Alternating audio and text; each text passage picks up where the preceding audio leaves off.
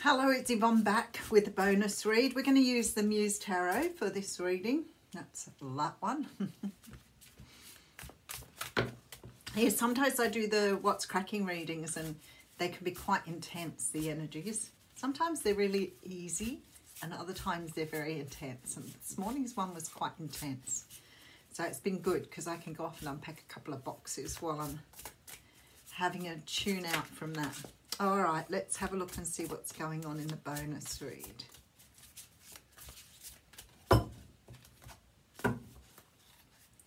All right, so we have the Ace of Swords coming out first up. And everybody knows this is my favourite card in the deck. The Ace of Swords for me represents the absolute truth, like living in your truth, standing in your truth, understanding what your truth is. I remember somebody saying to me one time, I'm really honest. And I kept thinking, yes, yeah, so am I. But I really understand the concept of being able to stand in my truth. Standing in your truth is about living in the moment, really knowing truly who, who you are, who you are, but actually living your life the way you were meant to. So it's about, you know, finally seeing through those parts of you that perhaps you've formed that really aren't part of who you are. And when you start to unravel, when you start to understand how to work towards this energy, you start to see components of yourself that perhaps aren't things that you like about yourself and you want to acknowledge and change. And I think some of the things that came up for me were very much about understanding how you know your parents have influenced you in, in, a way that maybe is not the nicest way to live. Like some things were really clear to me like um, you know racism. I didn't understand racism even though the people around me seemed to think it was just the way you lived your life. I didn't really understand that. But there were other things that i adopted as my own that perhaps never felt comfortable for me and I had to work to sort of find out what those things were and shed those things that no longer served me. So for me, the Ace of Swords is very, very important to people because what it says is within you lies a human being or a spirit or a soul that really understands who you are but you've sort of pushed it down because people didn't like to see it or because it made people feel uncomfortable. So when the Ace of Swords comes out, it says to me, there is a brand new beginning coming through here. And it's a beginning that means you're seeing yourself perhaps for the first time, but certainly in your truest form.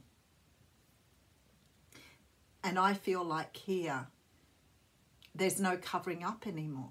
You can't cover it up. You can't go back to the way it was before. Because when the Ace of Swords comes through, you've got that clarity. You understand. It's a brand new beginning. So beautiful energy coming through. Wow, there we go. The tower behind that. So the tower says to me that you have broken down those components that made you who you were. You've broken them down and you've rebuilt yourself. So you've taken yourself right back to the core and you've rebuilt everything within you. Now, it could have meant also rebuilding on the outside. Like we know that when the tower comes in, it can be external events as well. You know, um, walking away from things like jobs or relationships that no longer serve you. But the tower definitely shows me that there has been, a wow, huge change with the death card.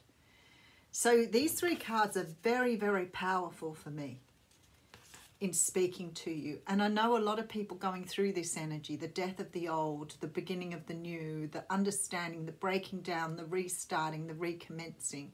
And that is all very evident in these three cards. So, for a lot of people I'm talking to, the old way for you is never going to work anymore. The old way for you doesn't feel like it fits anymore. This is the snake that's shedding that outer skin. You're going through a huge transformation here. And I feel like for some of you, it may be getting ready for the next step. Look, there's the devil energy as well. So there is definitely a shedding of ego here. Six of Cups. All right. Childhood stuff. I feel like we're seeing a lot of this this week. So there's a definite shedding with the Ace of Swords. There is a rebuilding with the Tower.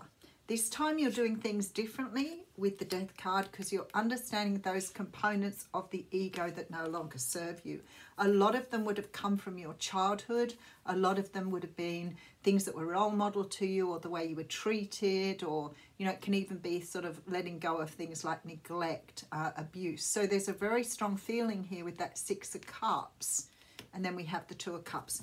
I feel like the universe is getting you ready for new love I feel really strongly for a lot of people, you may have been um, on what we see as a twin flame journey. And I feel like for, for many of you, that has created the energy of needing to review some of the aspects about yourself.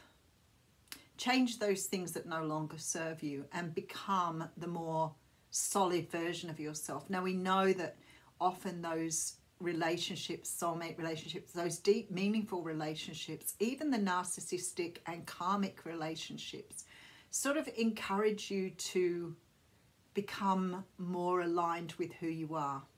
So you may sort of find that you have um, issues around attachment, abandonment, rejection, as I said, neglect, abuse from your childhood that have made you more vulnerable to what we probably class as predators, but really those people are quite damaged themselves when they're coming through as predators. So, but there is a feeling here that you are being aligned to what you were meant to be, and you are being aligned for love here with that Two of Cups. So there's like a lot of preparation coming through here for people who are starting to understand their own power I feel like it's like um, it's not like seeing yourself with weaknesses because I always think weaknesses is such a judgmental word. It's about understanding that perhaps some of the things you've been doing and some of the things that you've been portraying as a human being are not in your best interest. So maybe you've been like subservient in your relationships, codependent. Maybe you've always put other people on pedestals because you haven't wanted to fight and argue for something. But something here tells me you're starting to understand your power. And this time around, it's going to be different. So something is coming towards you. And to me, it feels like it may be new love, new romance, whether or not that's with somebody you've known before or somebody you're about to meet, there is definitely an opportunity coming towards you. But this time you're doing it very differently because you've been through all these changes. And this time I feel like you're meeting someone head on with the Ace of Swords. You're not scared to be who you are. You're not scared to speak up for yourself. You're not scared to set boundaries. So let's have a look. All right, so I have the Four of Swords here. So to me, this says you've been through like that deep healing the Four of Swords is very much that card of really taking time out from the out, outside world and looking deep within oneself. It can be the card of meditation, but it is really about looking deep within yourself and healing those parts of you you need to heal. Those parts of you that make you feel insecure or not good enough or whatever they are, but those parts of you that perhaps are really not yours, but that you've learned to adopt as your own. Those are the things you're breaking down in the tower. All right, because I feel like here with the Ten of Pentacles, there's an opportunity coming towards you for something very beautiful here. Now, for some of you, this may be about creation, creating sort of financial success. Um, I do see the star as I look into this card. So it could be that you're about to embark on a brand new contract or a brand new opportunity. May not be love for you. It may be something to do with your career. Um, but there's definitely money flowing more easily now. All right, so I have the Knight of Cups coming through. So for some of you, it's definitely love coming towards you. And the Queen of Wands, possibly with a fire sign. Leo, Sag, or Aries. I feel here somebody's coming towards you with a big cup of love. Now, the fire signs are very passionate, very driven, uh, very determined but this one is very determined to win at something. The Queen of Wands is such an attractive person. So it may be that somebody is coming towards you that you find very attractive. Maybe not in a physical sense, maybe in that deep sort of way. Maybe they express themselves incredibly well. But this person is very, very intent on a love affair here that's very abundant. All right, so the Five of Cups coming through. Leave the past behind. The High Priestess is here with the Ace of Cups. That is just beautiful energy. Because you've let go and you've trusted. You've let go of the past here and you've trusted that you can bring in something that is right for you. So you've got somebody, come, a knight on a white horse coming through here. A knight of cups. Somebody with a love offer. Somebody who I feel you align greatly with in, on your journey. Somebody that is ready to offer that cup of love. But I feel that whatever has happened here is that you've let go of something. And I feel like I'm almost reading after the what's cracking reading. So let's keep going. All right, so we have the Seven of Swords. No longer self-sabotaging, understanding your journey with the Three of Pentacles. And there you are, ready to accept an offer. So you've got the Knight of Wands down here. All right, before I go any further, because I want to clarify a few things, I have you standing in your truth. You've let go of something from your past here. You've changed something. You've been through a huge transformation with the death card. You've shed or understood, understood and embraced those parts of the ego that maybe were making you fight for something before. Because I see the Six of Cups, so I know a lot of you are working towards love, but you may be doing it as a result of some sort of situation or relationship that has sort of put you on the path to understanding who you are. So have you going through a lot of healing here and I feel like you're moving towards your abundance. There is somebody coming in here to offer you love. And the reason that's happening is because you've let go of the past with the Five of Cups and you're trusting the future with the High Priestess and in comes the Ace of Cups. Beautiful energy, no self-sabotage this time. No running away, no deflecting, no having to fight for it. It's just coming towards you in a way that's beautiful here with a lot of passion with that Knight of Wands. Let's see what we have. So we have the Two of Cups coming through again. So for some of you, this may be somebody returning Six of Cups. So it's possible you could have somebody returning from the past. I do have the Devil card coming through here with the Three of Swords. So it may be somebody that you saw as breaking your heart in the past here feel like you've got somebody returning. But maybe for some of you, this isn't about somebody returning in so much as you've had your heart broken in the past, but this time you're understanding why that happened.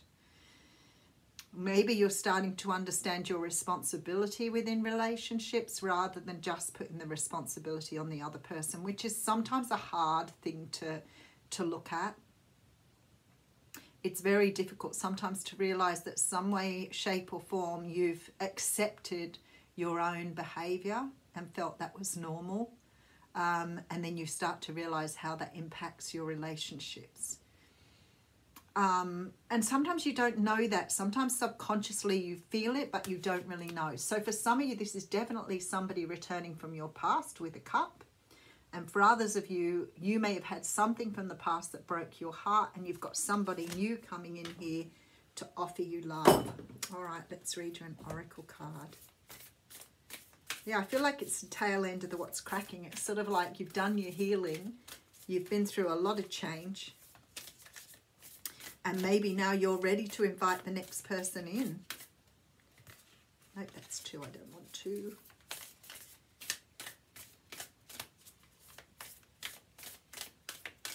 Oh, okay. We might have to draw it random if you're not going to give me a card. I have the blue flame. Very nice. Spontaneous awakening. Activation. Integration time. That's beautiful. Let's have a look and see what it says about the blue flame. This is a card of awakening and energetic upgrades. Perhaps you're going through a period of spontaneous awakening, receiving visions and having experiences that are out of the ordinary. In the West, little is known about the process of spontaneous awakening and it can feel very scary when we go through it alone. Elsewhere, they can be seen as auspicious experiences, with those going through them being treated with tender care. So there's definitely deep cellular and DNA healing here. So you've been through a huge healing. You know, it's funny because it says many people glamorize the awakening process, and that's so very true. It's not a good time. It's uncomfortable facing your fears. It's uncomfortable facing those parts of yourself that you really now understand have created a lot of difficulty for you on your journey. And I feel like learning to integrate that into yourself becomes very difficult because you it's so much more comfortable to stay where you've come from. It's so much more comfortable to think it was easier before when you weren't awake and you didn't realize what was happening.